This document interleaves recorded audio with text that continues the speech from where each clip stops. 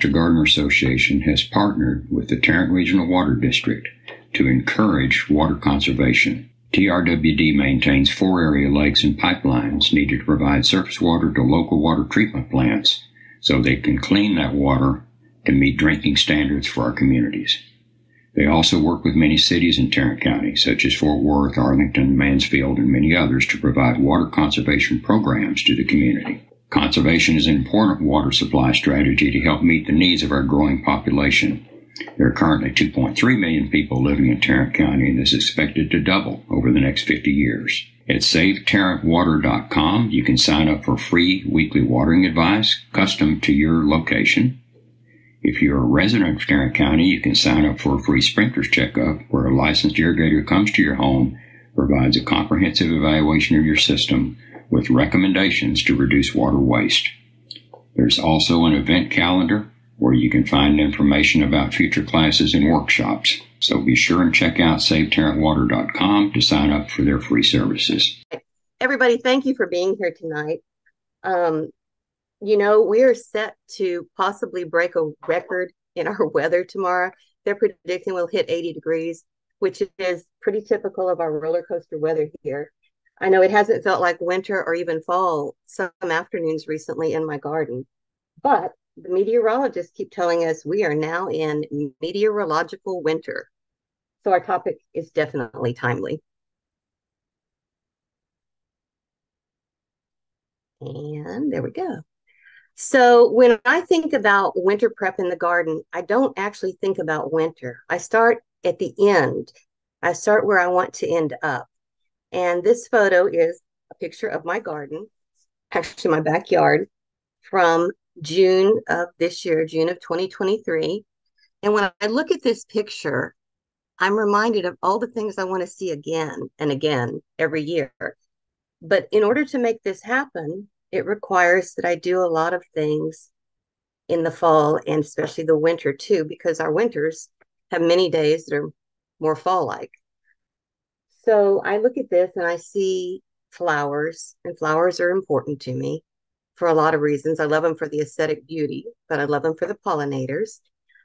I look up towards the garden, which is the back of our property, and I see the pollinator beds lining the picket fence in front of the garden and they're all pollinator beds. 99% of everything back there is native or adapted. And um, in the summertime, when you walk up that way, you can't really hold a conversation when the bees are buzzing, the native bees and the honeybees. And it's just a delightful place to watch the butterflies and other insects.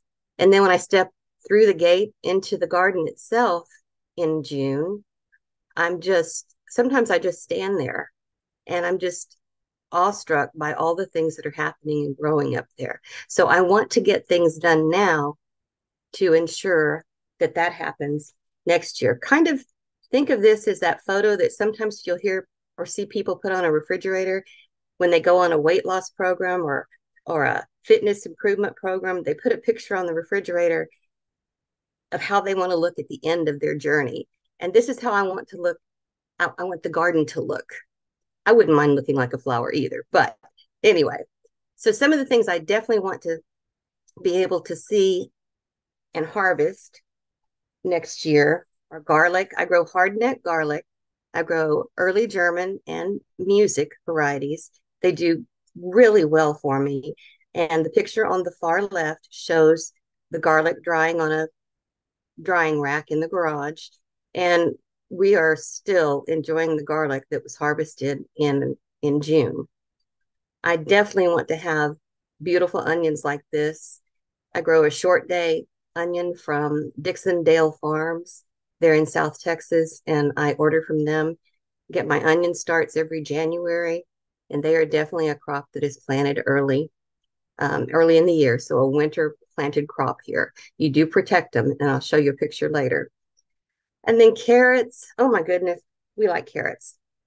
And I plant carrots from late summer through November, depending upon what I'm planting them in.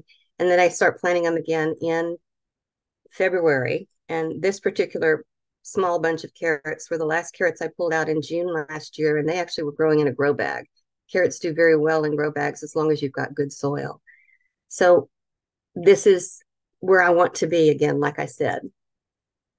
And I mentioned pollinator beds up at the back of the uh, back of the yard in front of them, the garden fence. This picture in the middle uh, is a picture of the first pollinator bed we planted. It was sort of an experiment to see how things would go. And it was planted in 2019 and it has flourished. By late summer, most years, the plants are taller than the four foot picket fence and it, they're just covered in pollinators. Um, to the left, passion vine, the Gulf fritillary caterpillars just adore this plant. They will inhale it, but they never manage to eat it all the way to the ground. And it keeps, it, I had a, a, bloom on it uh, just about three weeks ago, again, in one of our warm snaps. And then to the right, my grandmother always told me plant enough herbs for yourself and for them, them being the caterpillars, the butterfly caterpillars, she said. And um, so swallowtail caterpillar on dill here. I scatter dill throughout the garden. And in order to make sure that I have enough dill and parsley, that involves starting plants in the wintertime on my growing station inside. So some of the things that I want to make sure come true, these are what these pictures are. So there's a concept called backward design. And I have begun applying it into the garden. When I was uh, studying for my master's in 2005, we were introduced to this concept. The book is listed at the title. It's called Backward by Design. And it was originally created as a way to uh, achieve as the results you wanted in, in the classroom. And so often that meant, you know, ensuring that children passed, passed the test, passed whatever. But I found that the concept applied to so much in life. If you have an end goal where you want to end up, and then you walk backwards mentally and delineate those steps that you need to take to get there, and then move forward with those steps.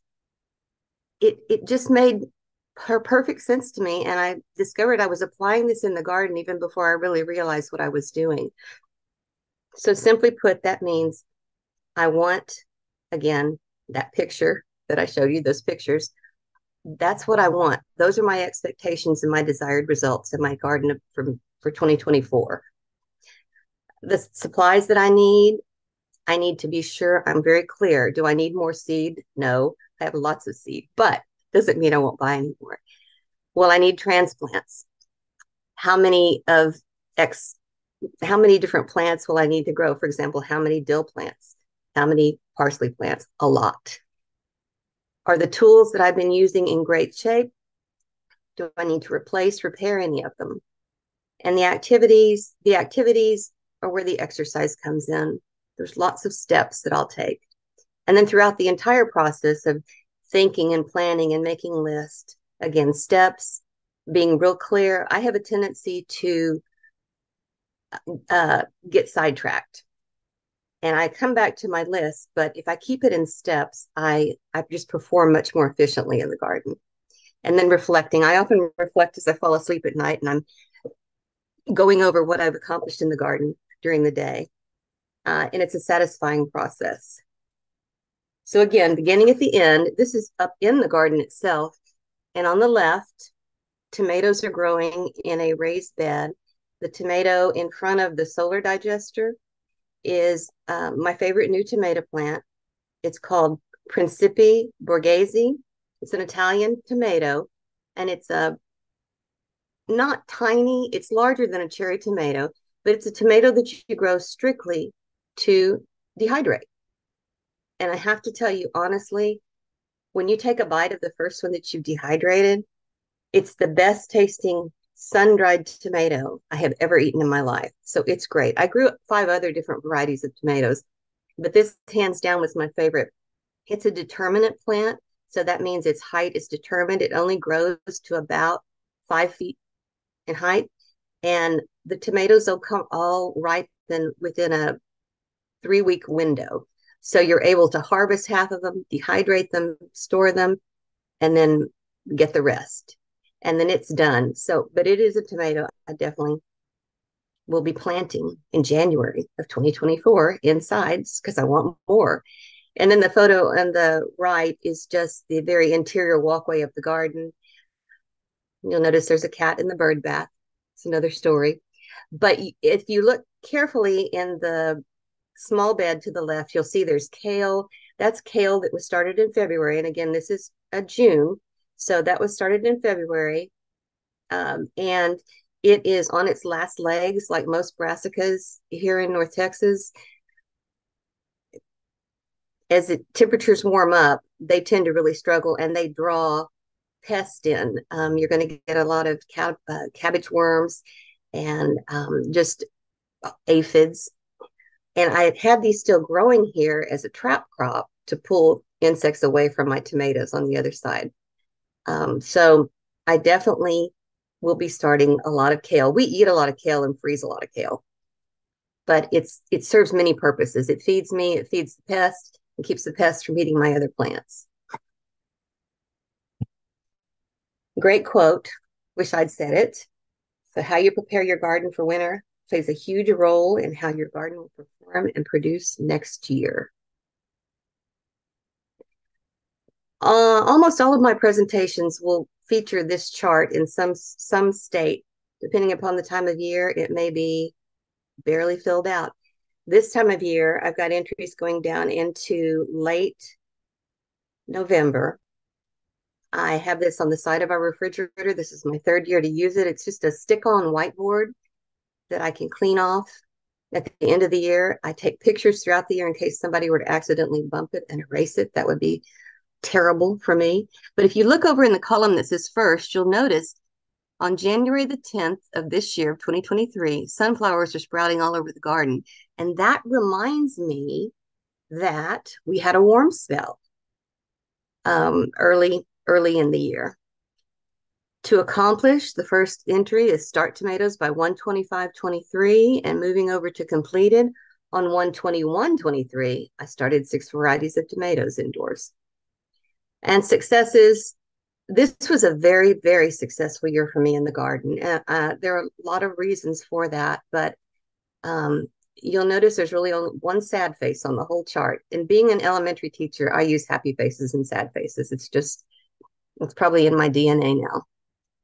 But my year three asparagus bed was awesome. We had 11 harvests this year and it, they were tremendous. And the next one the sugar snap peas. We ate so many of them out in the garden that we had to really work hard to bring any inside. So this is just a helpful tool for me. And I reference it. I go back in my photographs and reference it. I have to enlarge it, but it's just a simple, simple tool. So instead of a garden journal, I keep it on the refrigerator. All right. So, like with so many things in life, before you get started, you have to clean up. And so, before you get started on all the things you need to do for the winter garden, you need to assess what you need to do. What you need to do will be different than what I need to do. It's a good time to make a list, but your lists are going to be based exactly on your expected results. What is it that you want to see in your late winter, early spring, late spring, early summer garden? And once you have that more clear in your mind, grab your coffee or your beverage of choice and get to work because there is work involved. This graphic is a great one because it reminds all of us that there's a lot going on under the soil with our plants.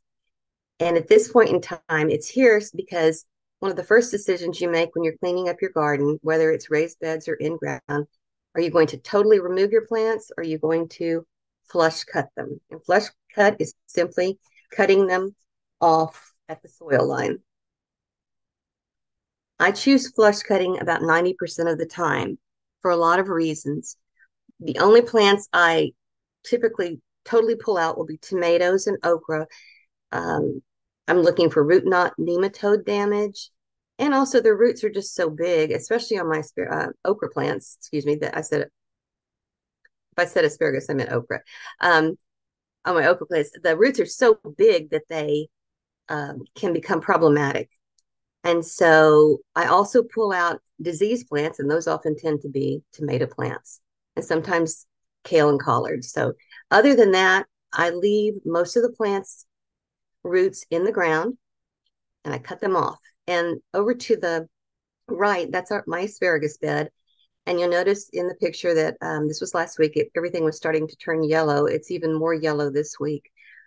And the asparagus bed will be flush cut to the soil line. I will add compost to it. I'm going to plant a cover crop over it. I'll plant field peas on top of it, and then I'll mulch it and put a watering grid back on top, and I'll water it periodically to help the cover crop get started. And we'll move on, and I'll talk about cover crop cover crops more in a minute. So a new practice for me this year is called chop and drop. It's not a new practice. It's new to me. The bed to the left is the one that you saw in the previous picture that had all the okra, zinnias, basil, all that stuff in it. And as I was cleaning out these beds, I just took the plants and piled them in the walkway. And then I came back and started chopping. And literally, you chop things and you drop them and leave them there. And so I've gone back now and covered this with mulch. And it is really starting to break down. I've been very pleased. So we'll see. I don't know if anything will sprout or not. There's heavy cardboard underneath. We'll find out. Experimenting can be fun. And oh my goodness, y'all, to me, one of the best benefits of gardening this time of year or preparing things are leaves. Leaves are beautiful. These are three different trees that happen to be in my yard, and I love them for many reasons course, in the fall, their color is delightful, but one of the best benefits as the leaves fall for me is to gather them up and then to carry them up to the garden with the intention of using them as mulch to help retain moisture all winter long. And I know a lot of you would remind me that you can leave your leaves on the ground and mow them, and you absolutely can. They'll provide nutrients for the for your lawn, the soil, but I have so many garden beds that I really need all the help I can get with mulch. And so I purchase mulch, I purchase straw a lot to use. And then I have to say, leaves are my favorite mulch in garden beds because they will decompose and again provide nutrients to the soil. So while I'm cleaning, I'm also organizing and storing supplies. I don't know about y'all, but as I'm busy in the spring and summer when I'm fertilizing things and using weed killer on in between pavers because that's the only place I'll use that vinegar. Things get a little messy. I drip, tops don't get put on correctly, things get knocked over and spilled. So before I put these things away for next spring, I just kind of take a wet cloth and clean everything up, make sure the tops are really screwed on tight, and then they're stored in a shelf up above this this table in the garden shed. It's kind of like packing away my summer clothes in a different way. Well, sometimes I end up wearing, unfortunately, fish emulsion. Ugh.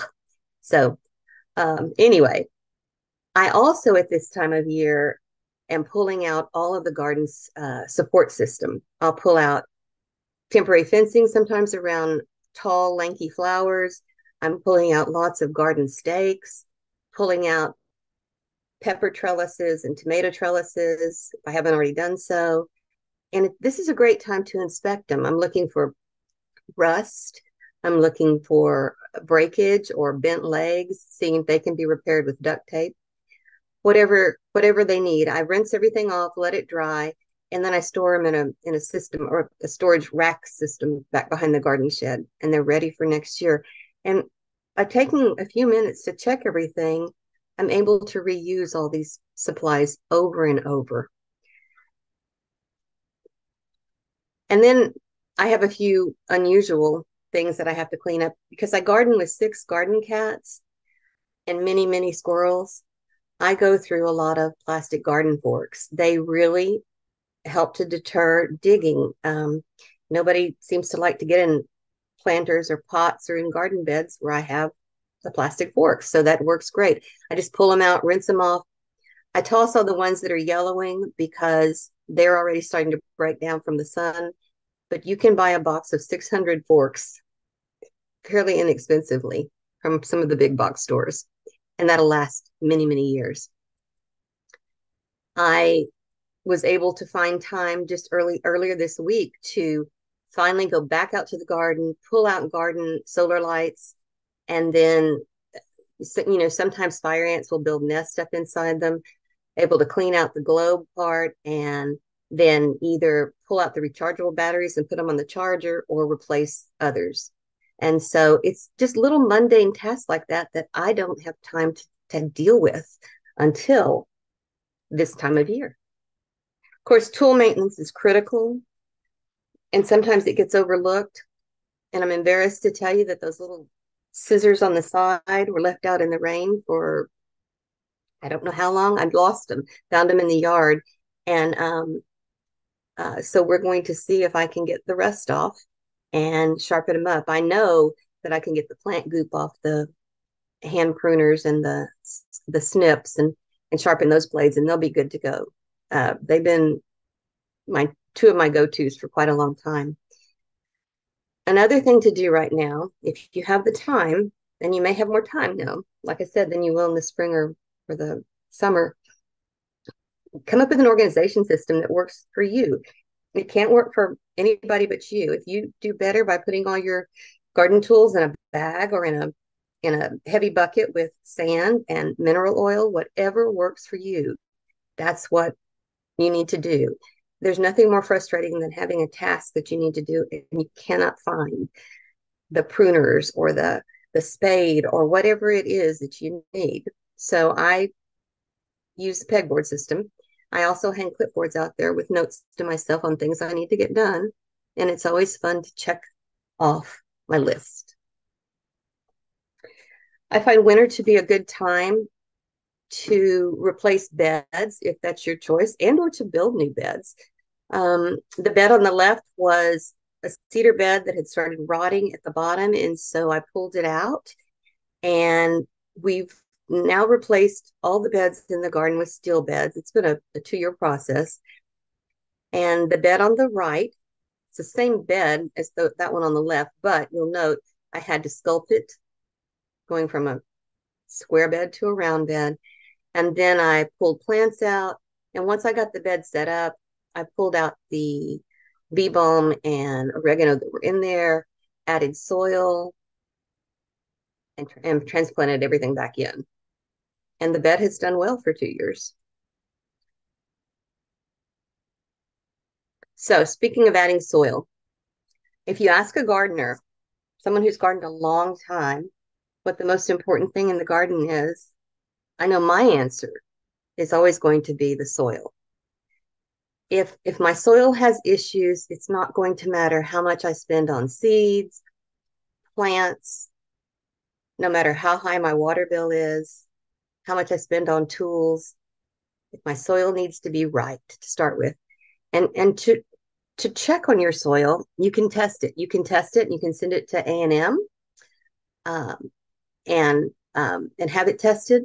You can do private testing. You can even buy a little, um, last Christmas I was given a little gadget that you can just stick in your soil and it just checks for the first three, nitrogen, phosphorus, and potassium. But it, it, it gives you a quick readout and just tells you about those three. It's important to know the other micronutrients, you know, from calcium on, but testing your soil, it's like giving you a baseline. And so let's say your soil's great or your soil's needy. That's going to be like the flow chart you follow with the next steps. Most beds, most raised beds, will need to have soil added. Um, soil can get compacted, and I do add soil if needed, but I always, always, always amend soil. Compost is just uh, compost is kind of after after soil compost. Those are my two favorite things to talk about in the garden. Um, and so I add compost, and then planting cover crops is done to improve your soil. If you have garden uh, rows or beds that are going to lie fallow that you're not planting anything in, planting cover crops in them will make a huge difference in next year's production. It'll get you to that image you're you're thinking about for next summer. And then of course mulching. We all know the importance of mulch. Mulch not only uh, keeps the soil moist, the plants moist, keeps you from having to water quite as often, it eventually will break down and add some nutrients. So improving soil, critical. We um, have soil delivered in bags. Um, just our property is on a huge slope, and it's just very difficult to get up and down with wheelbarrows. And so we have pallets delivered with, I always get organic compost. I cannot always find organic potting soil. So it just depends on what's available. But it's always a happy day when the soil arrives for us. Well, I say for me. All right, I talked about cover crops. Again, we're still working on improving soil. So cover crops have been grown a long time in agriculture and big farming. And the reason for that is they do exactly what their name implies. They are a crop that is grown to cover the soil, but they do more than just provide a living mulch. Red clover, white clover, and field peas are legumes, and um, they have a lovely benefit of as the plants grow, they, I always imagine little hands coming out. They grab nitrogen from the air, and the nitrogen travels through the plant into the roots where the nitrogen is then fixed in the soil. So you hear them called nitrogen fixers. And that nitrogen in the soil then is available to be used by the next crop of plants that you grow in that bed. So, for example, I have had great luck planting tomatoes in beds that had clover or field peas growing in them. The same with cucumbers. Uh, the same with uh, peas. My snap peas were very happy this year to grow in a bed that had field peas growing in it last year. I also grow oats, buckwheat, and hairy vetch. And these are not the only cover crops available. These are the ones that I grow and that I have experience with. And right now I have all six of these planted in um, 11 different beds up in the garden. So hairy vetch, oats, and, and buckwheat will grow, and they can sometimes be frost killed. Um, I they were frost killed for me in 2021. They were not frost killed last year. So whether they continue to grow or not, even if they're frost killed, their roots are still below the soil and they are adding nutrients that way too. And one of the benefits of all of these is they break up compacted soil too. So they do a lot of work for you. And the process of planting them is real simple. You know, I add compost to the, the beds. I simply stand and just kind of like the way I imagine I would throw out chicken feed if I were feeding my chickens. Um, I just strew the seeds on top of the bed and I literally cover with mulch at that point. I don't even plant, put soil on top.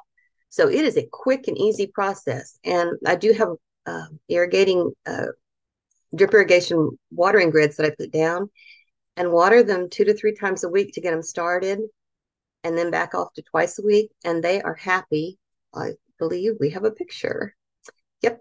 So here's a picture on the left of field. I know it's hard to see, but those are field peas up to where you can see the seeds up towards the back of top, the top of the picture.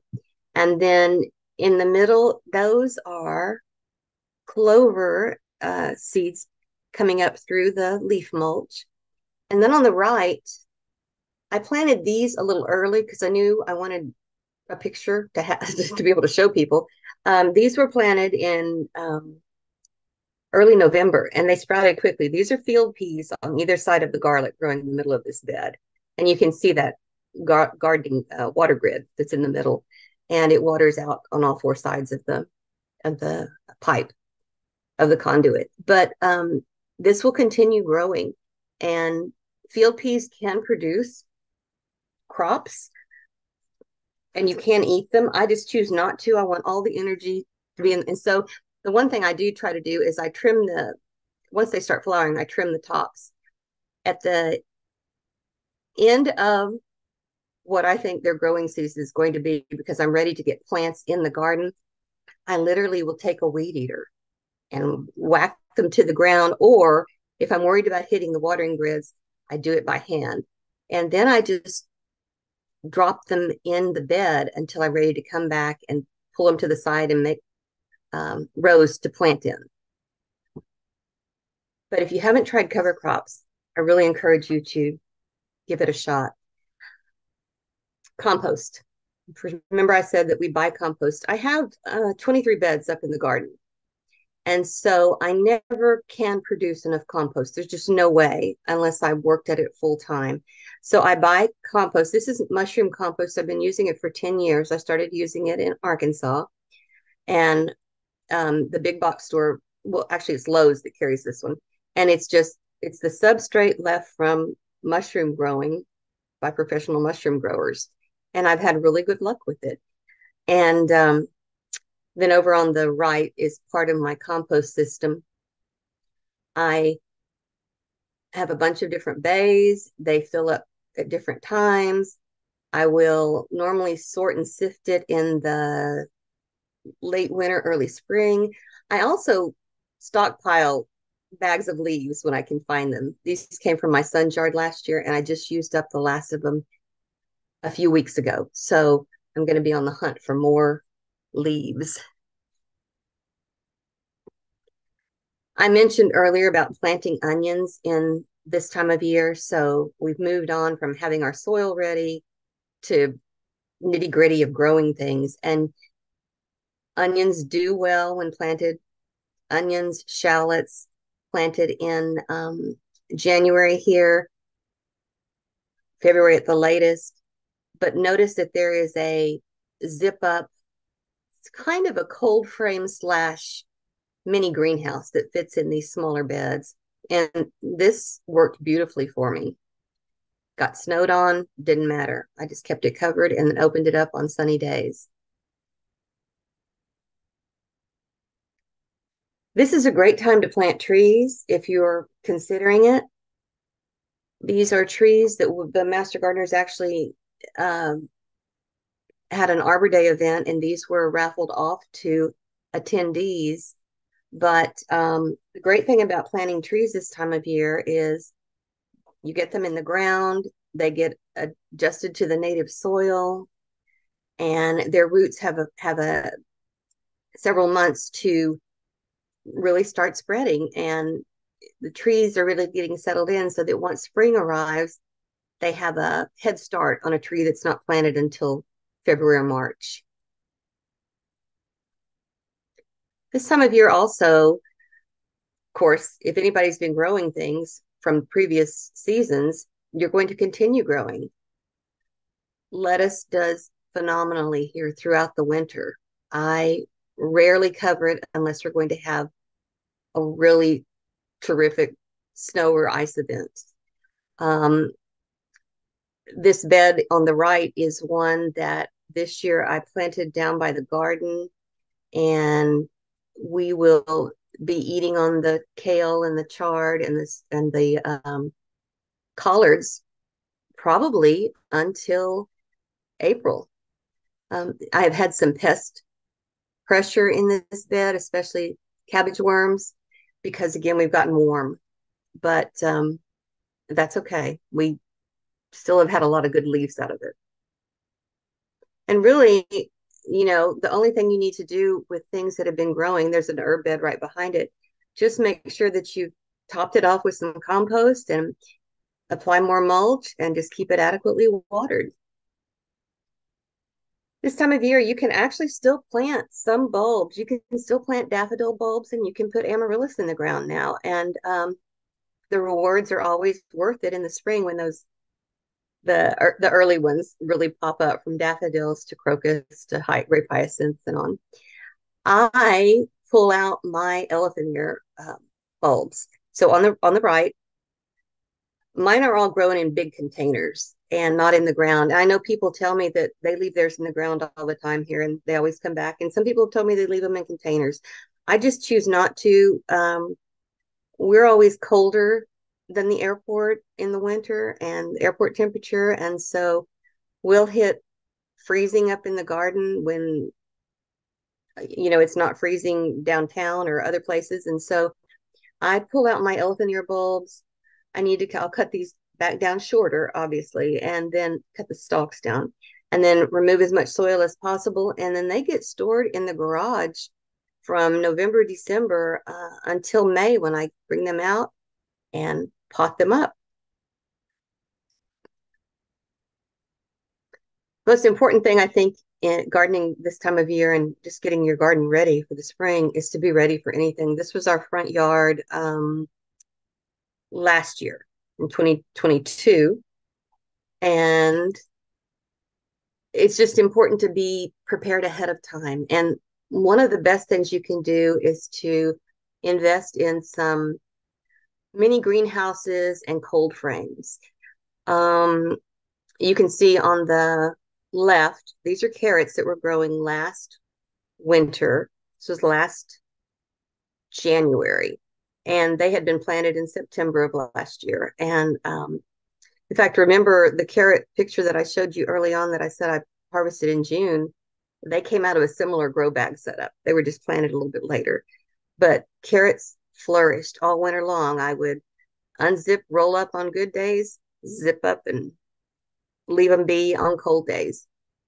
And I invested in these cold frames on the right last year, and I'm, I'm so glad I did. Um, I got all these, they're all set up again. Um, I, these were set up the weekend of Halloween this year because do you remember we knew we were going to have freezes. So we got down to 31 and then 29 the next night. And so this was just this week. And I still have a beautiful basil plant growing in one of those and some other plants that I wanted just to have a little extra protection. And it's up against the back wall of the house. So it gets that um, heat, the radiant heat effect too to keep it warm. And they work beautifully. This is just a simple little inexpensive uh, greenhouse from Aldi that I have set up in my garden. And again, right before Halloween, when we knew we were going to get a frost, I set it up and I put some pots in there. I had some elephant ears in small pots are up in the garden. They never got real big, but they were extra bulbs. I just needed to plant them. But even today, and they so this was like I said, end of October. So even today, I still have mustard growing in there, my artichokes growing in there. Got a few herb rosemary plants just because they tend sometimes to freeze up in my garden when they don't freeze down by the house. So it's just a another little safeguard that I put into place when we're not having right before we get terrible weather. So frost cloth and hoops, really important. On the left, you'll see at the south end of the beds, the hoops are in place. There are four hoops that run down. These are 10 foot beds. And I have the frost cloth just tucked in and clipped so it doesn't blow around, waiting to be used. And I got that set up a few days before we had a freeze. And by the way, this was in 2021, which should trigger all kinds of memories. Um, so we started having uh, frost at night and I would cover them. And then right before Snowmageddon hit us, I um, had just been leaving the covers in place. And I didn't lose any plants, y'all, in these two beds. I promise you I didn't. I think I think the reason so they were covered with frost cloth, but we had a nice snow that was insulating before we got all that ice and more snow. So I think that that truly made a difference. If these had not been covered, they would have died and this is um, beets, carrots, Swiss chard, arugula, and dinosaur kale in that bed, and some spinach. And I, they all lived. I think that that prior planning made a difference. Oh, speaking of planning, so these are actual lists from 2022 and 2023. I I do better if I write things down, and then I love being able to check them off and you'll notice everything from what I wanted to direct sow in 2023 to what I needed to do, what I was going to trim and cut back, what I needed to divide. I have notes from a tomato virtual presentation I watched with um, Callie Works Leary of the Dallas Garden School about tomatoes. It was really good. And then sketches of the garden. This was late winter, early spring in 2022, and and so on. So I save lists because again, I can go back and look at them to help me get to where it is I want to be going. I do make a master map of my garden, and I know that I could do a much cleaner, fancier one online. I just originally did one on lined paper, and I think it's quaint. I don't know. It makes me think of my grandmother somehow. And so I just update it every every season, and I always write in pencil. I've got the basic outline that I can just fill in. And again, I've got those cover crops listed on here. The one thing I don't I don't see, oh, I just have clover written once because I have two kinds of clover. But you'll notice where the garden shed is, where the where the long beds are, and we've added more beds in some of the pictures.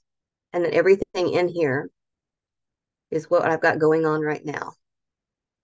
And this is so simple to do. It helps me to plan. So seed starting, I mentioned earlier, I start seeds inside.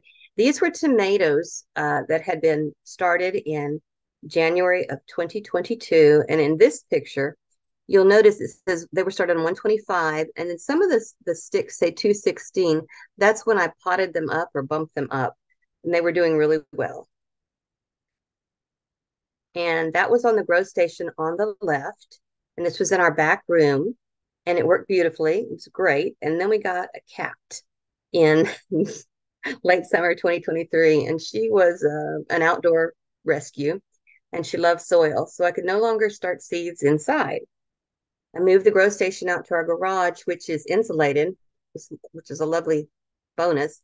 And it exploded. This was how my grow station looked in January, February of this year, 2023. I was ambitious.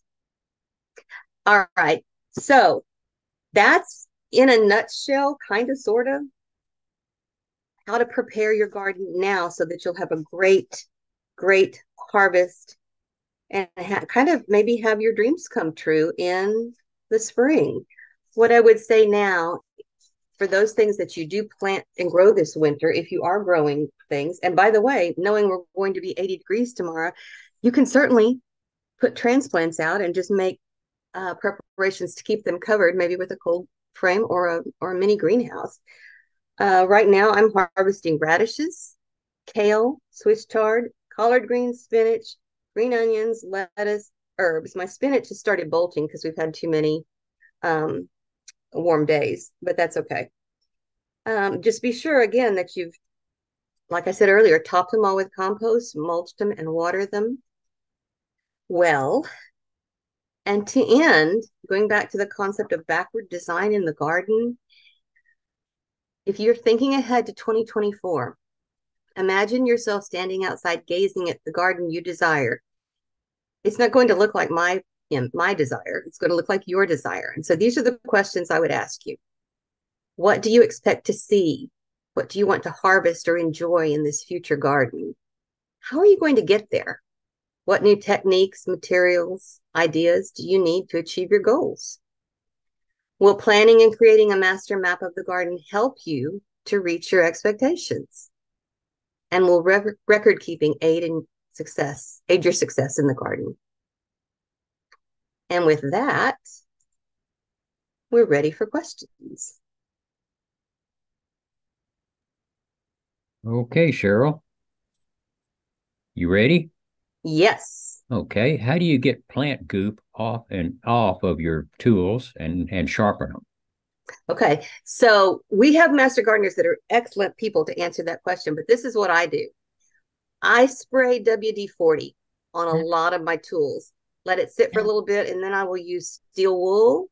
I will use, um, there's a company that makes these really heavy duty sponges. There's a big, there's a daddy one and a mama one, and I'm blank at the moment. They're a smiley face. They're round and have a smiley face in them. And I get them at Target they're really stiff if you don't put them in water, and they work really well too. I use those for uh, scrubbing out bird baths. And then to sharpen them, I honestly have a um, uh, what's it called? A whetstone that was my great grandfather's uh, that I can wet and we put oil on it, and or I have a lot of handheld files. So I'm not an expert, but that's what works for me. Okay. Uh, Michelle wants to know where do you get your soil? Ah, okay. So Lowe's Home Depot, and Walmart all have different soils that that I have used. My favorite lately, and I use, by the way, I don't know if you noticed, I use potting soil in my garden beds, not garden soil. So my favorite is Miracle-Gro's organic when I can find it, or Better Homes and Gardens organic. Walmart carries the Better Homes and Garden. Lowe's has the um, and Ace Hardware too have the um, Miracle-Gro organic. If I can't get those, I can get Miracle-Gro pretty much anywhere, just regular old Miracle-Gro potting soil. Are there any any tips on how to fill multiple beds, multiple raised beds? So, um, you know, when you're starting off, let's say you've got a 12 inch bed, you know, some depending on what you're growing, you could probably uh, with annuals and things, and some of the annual vegetables um, that don't have deep roots, you could even start by using a technique called Hugelkultur. There's different ways to pronounce it. It's H U G E L K U L T U R, and it's where you put you can put garden debris in the bottom of the bed, such as branches and spent plants. Just make sure there's no roots and cardboard, all kinds of things like that, and then top it with soil. So you it will compact down though. So know that you, when you do that, and the, the material at the bottom will decompose. Know that in subsequent seasons you'll still need to top it off. Of course, it could be cheaper if you have the ability to have soil delivered by the truckloader to go pick it up. That's not going to be as expensive as bag soil. We just have an issue with the steep grade going up to the garden, and um, my husband and I are getting old. Do you test your soil once a year or more often? I don't test mine every year. I test it every other year. I, you know, um, I mentioned the little gadget I was given last year in a stocking stuffer, and I can't think what company makes it, but it's a um, the the person who gave it to me said they got it on Amazon, and it was a a soil tester. It's a probe, and like I said, it only indicated uh, nitrogen, phosphorus, potassium. But um, I used that this year instead of testing, and all but I think three beds had the right levels of nitrogen. And the beds that didn't have the right levels of nitrogen, I did not grow cover crops in last year. So that was one of those like, aha. So, you know, I think I'm doing best practice and um, that that helps a lot. When we moved here five years ago, when we, we moved back to Texas from Arkansas, I tested the soil tested, and our soil, we're in uh, Southwest Fort Worth, our soil is not good. That's being nice. It is not good. It's very, very alkaline. So that's why I grow in raised beds. Okay. Um, do you plant cover crops in dormant perennial beds? No, I don't. I just mulch those beds. I, I, I, I throw compost out as best I can and and I and I mulch a little bit more if they need mulch. My beds are pretty full, so I have a hard time getting mulch in there this time of year. And I don't cut them back totally because I like to leave that cover in those beds, you know, for um, wildlife. So that is the one area that I do a little more work in the spring or late winter, honestly, in late February, if we're not in the middle of a snowstorm or ice storm. I'm out trimming things around Valentine's Day in the perennial beds. Okay.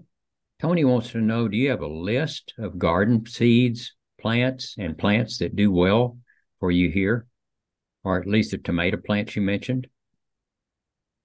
I can tell you the tomato plants right now that have done really well for me. Um, they're not all um, heirloom. I will I will say this in Arkansas I grew a lot of heirloom tomatoes and they did very very well. Heirloom tomatoes can struggle here in that they're not as disease resistant. But in a minute, I'll tell you the trick I learned in the last two years to help with that. I grow, like I said, the Principe. It's it's it's Italian, so Principe Borghese. It's uh, B O R G H E S E. That's the sun dried one. Uh, celebrity um, slicer tomatoes do really well here. I have really good luck with green zebra. They are an heirloom, but they're not a, a, a big slicer. And other than that, I have really struggled with other slicers. Cherry tomatoes, I would I, I was getting yellow pear cherry tomatoes uh, off the plant three weeks ago. Uh, so, uh, but a lot of different. Okay. Sun Gold does great. It's a cherry tomato. Um, I'm trying to think. I also grew Rutgers last year, and they did well. And oh, oh, I, how can I forget this one? Mexico midget is a new to me. I've only grown it three times, so that makes it a newer one. Mexico midget is an is an heirloom. They say that it's current size, you know, so it'd be about the size of your little fingernail. It grows much bigger here. Um, it's when I say much bigger, it's more like the size of your thumb. But it uh it's one of the the indeterminate ones. The the vines get 20, 25 feet long and it produces until either bugs just decimate it or till you have a frost. So those are the ones that have done so well for me. I know that there are people that will tell you they can grow heirlooms without any trouble. I just have struggled with it here. But what I started doing this year is growing a lot more trap crops. And that's a whole different presentation. But a trap crop is something you plant far away from the desired crop. So the bugs will go to the trap crop. And what I learned to plant is, is ornamental millet. So millet is a grain, it's in bird seed. And um, it is absolutely the favorite plant I have found of Florida leaf bugs and stink bugs and they will go just infest the millet, which is fine because I had it growing 15 feet away from all my tomatoes. And um, so that helped, I think, too, with keeping that yellow pear going and all the others. Hope that helps. Yeah. Do you, do you have a place where they could get that list of garden seeds and plants that do well here? I could make a list and we could, could we uh, then email it out to them? Yeah, you could have it, you know, you could have it sent to all the registrants, you know, people okay. that registered, yes. Okay, I'm making a note to myself. I will let you know what grows really well for me. Like I said, I'm in Southwest Fort Worth. So Cheryl, if you will generate that list and just send it to me, and then I can forward it to the uh, attendees. I will. I won't get to it till this weekend, if that's okay, y'all. That's okay. Okay. Super. Okay. Mary Lou wants to know Do artichokes freeze here in North Texas? Yes, they do. They do. I haven't had real good luck, but um, I know some people have. And that's why I've got mine inside that little um, greenhouse and it has not frozen. So um, this is the first time I just I just grabbed an artichoke plant. I just wanted to see. We love artichokes. So it did not flower this year, which I've been told is not unusual. So we'll see if it's still with me next spring. And I can let you know more then. But it has not frozen yet because it's got some extra coverage. Okay. Uh, where's what's the best place to buy? Where's the best place to buy a raised bed? Oh my gosh, it depends on what you want to spend. Honestly, they're expensive. Um, the steel beds that I have gone with are from a company out of Houston called Vego. It's V E G O. It rhymes with Lego, although we say Lego. But um, Birdie's beds are good too. They're from Australia, but they're sold by a company in uh, California called Epic Gardening. I like the Vego beds. I like the fact that it was a Texas company and they're they last. They're guaranteed to last twenty years and they can i can put one together in my sleep now. I think we have 26 of them all together throughout the yard. But um they um you pay up front. A lot of the steel beds though you can get some that aren't as pricey from home depot and lowes. And there's a there's a company um that i've used a lot with cedar beds called they're it's it looks like it's greens but it's they pronounce it greenes g-r-e-n-n-e-s and they make cedar bed kits. Um, and they uh, you slot them into a, a corner post and um, and then put a cap on them and and they worked fine until they just the bottom rows started rotting but um I, I had them i had some of them for eight years i actually brought some with me from arkansas and and that's how i started the garden here uh, at the end of 2018 but um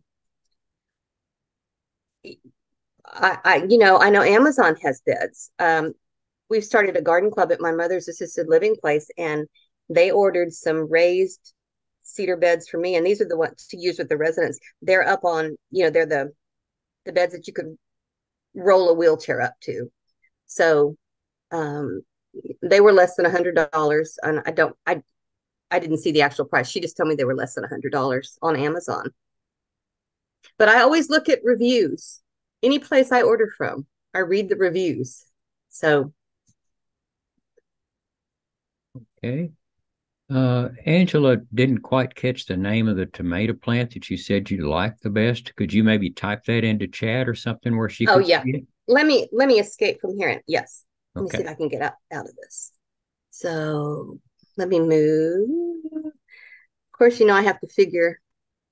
There I am. Yes, I could do that. Okay. It's. I'll type them all. Okay. Thank you for reminding me. Yeah, and Alice will also wants to know the name of the Italian tomato you were talking about. Yeah, I just put it in there, Okay. and it was just. It is so good that uh the Principe Borghese when you um I store mine by sun-dried tomatoes, though they're not sun-dried, they're dehydrated. I store them in the freezer and just in containers and I pop them out and toss them in with pasta and and they rehydrate and oh my stars. Sorry. They just it, it's like it's like you're in summer again, if that makes any sense. Okay. So All right. Um, Sarah would like to find out about cover crop, more about cover crops. Do you know where she could get more information about those? um online. Honestly, it is one of the easiest things to, as we say, Google and um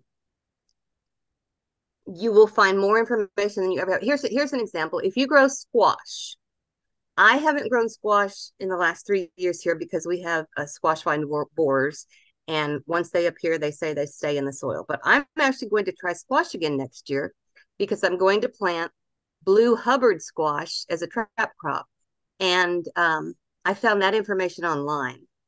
And then there is a great book. I'm going to turn around. The book, the book, the book. It is the book is called Plant Partners. And like I said, this is a whole nother, as we say, a whole nother um, presentation, but I don't mind. So the book is um, Plant Partners. It's by a woman named um, Jennifer Walliser, uh, Jessica Walliser. And she spoke at the International Master Gardener um, meeting this last year. And uh, throughout the book, she goes through and talks about so there's companion planting and there's trap crop. You can plant, put plants together that benefit one another. You can put plants in your garden that will benefit, but they're not together. Like I said, the millet. And so my favorite trap crop again, this is what it's called. Ornamental millet. Hope that's helping.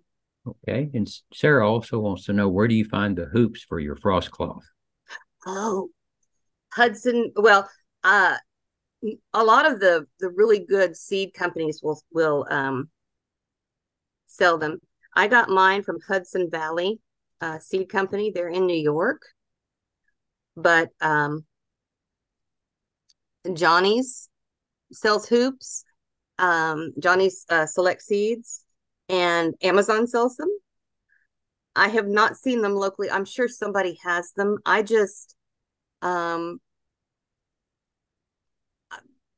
I got these, the ones I have from Hudson Valley Seeds. I got them the end of 2020 and because we had predicted that it was going to be a rough winter in 2021. and so I pre-ordered them, and you can order frost cloth from them, and they will cut it to length. I ordered twelve foot, uh, you know, pieces that were twelve feet long for those two beds, and and it worked beautifully. And I think they charge you. It's I don't know how much a foot. It's not it's not bad. Maybe a dollar a foot. But that you can probably find. You can probably find frost cloth locally.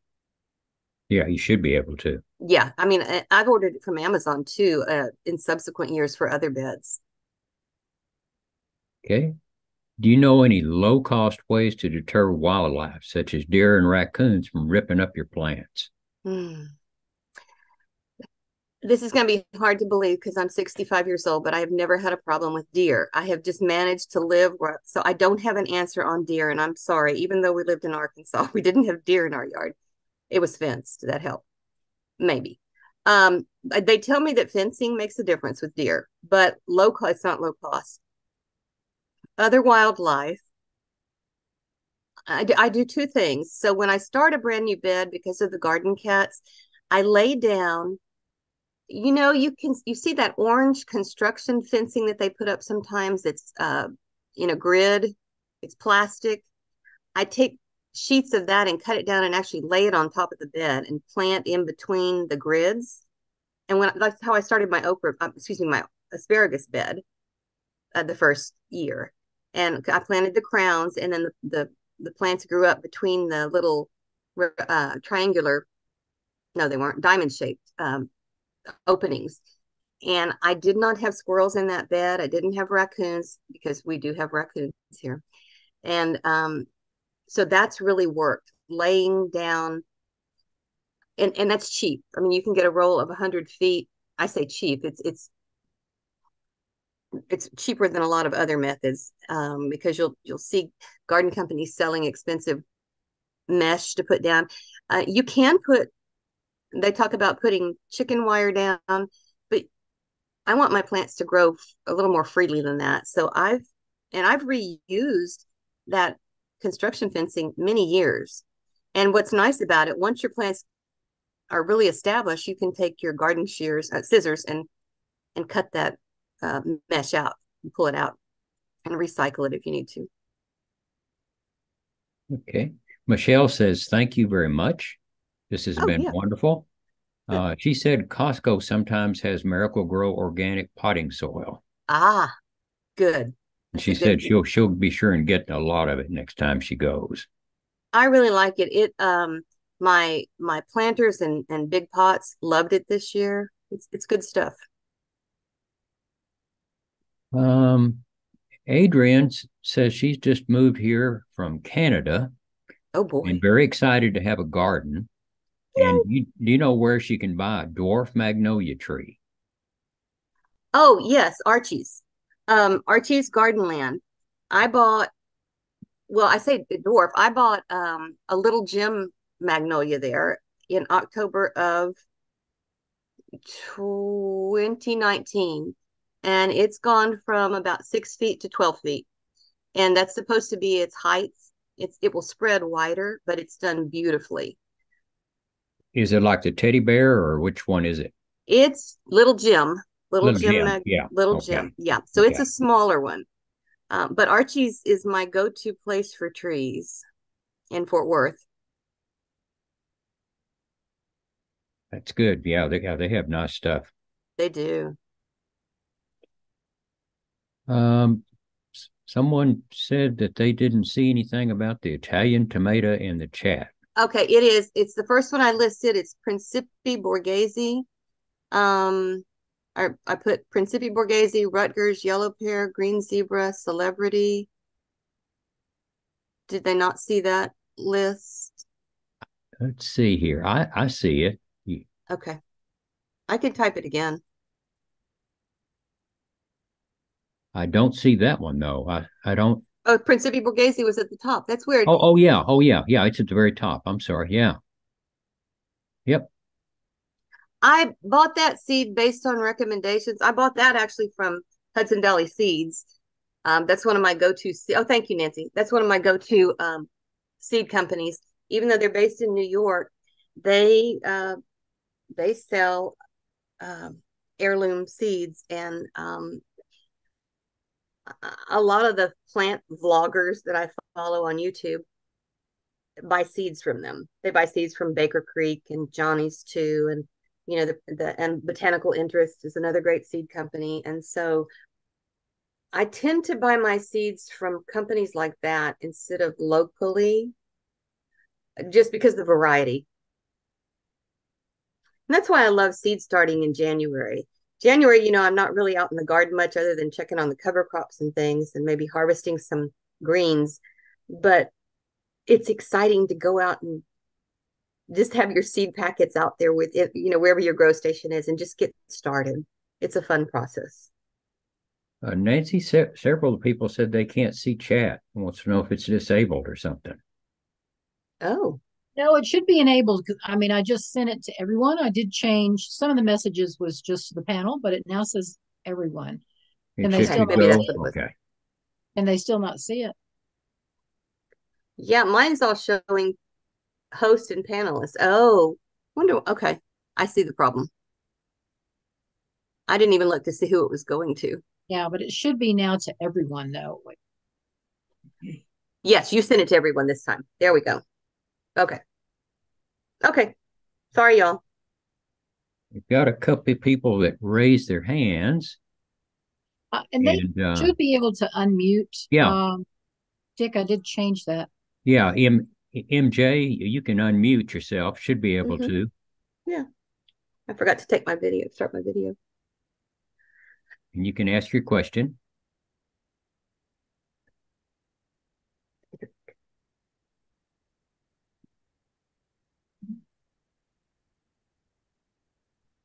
MJ, you there?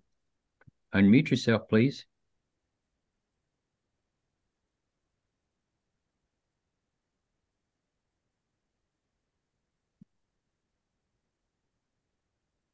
They could have accidentally hit the. Yeah, yeah, yeah, maybe so.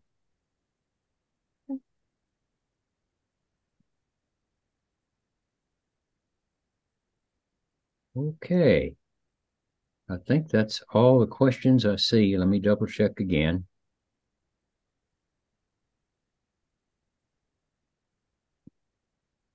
Oh, what was the Mexico uh, tomato? Wasn't it Oh, yes, midget? yes. Yes, let me, it's Mexico midget. Let me make sure this goes to everyone. And again, it just had really good reviews. So I thought, you know what? I grew it for the first time last year. And it just did so well that I grew it um last last spring, last fall, and this spring. Okay. All right. Well, that's all of them. I think you did a great job. All right, thank y'all. You really did.